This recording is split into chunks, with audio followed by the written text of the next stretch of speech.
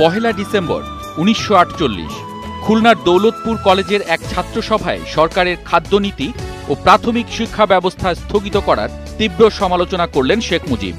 তিনি বললেন, প্রথমত, খাদ্য সংকট ও দেশ রক্ষাই আমাদের প্রধান সমস্যা।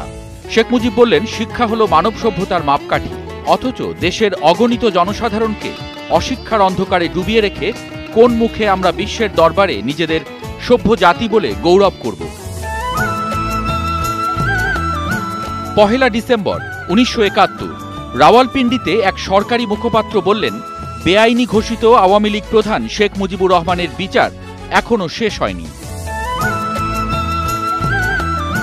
পহেলা ডিসেম্বর, উনিশশো বাহাত্তর, উপকূলীয় বাঁধ প্রকল্প, বন সম্পদ এবং বন্যপ্রাণী সংরক্ষণ ব্যবস্থা সরেজমিন পরিদর্শনের এক পর্যায়ে সুন্দরবনের দুবলা এসে স্থানীয় বাসিন্দাদের অভাব অভিযোগের কথা শুনলেন প্রধানমন্ত্রী বঙ্গবন্ধু শেখ মুজিবুর রহমান। তিনি তাদের জন্য বিশুদ্ধ খাবার পানি এবং টিকা সরবরাহের নির্দেশ দিলেন। কম্বল বিতরণের পাশাপাশি কয়েকজন গ্রামবাসীকে অর্থ সাহায্য প্রদান করলেন বঙ্গবন্ধু। পহেলা ডিসেম্বর উনিশশো বঙ্গবন্ধু শেখ মুজিবুর রহমানের জন্য অভিনন্দন বার্তা পাঠালেন সোভিয়েত কমিউনিস্ট পার্টি প্রধান লিওনিদ ব্রেজনেভ। দিল্লি সফর শেষে মস্কো রওয়ানা হবার আগে তিনি এই বার্তা পাঠালেন।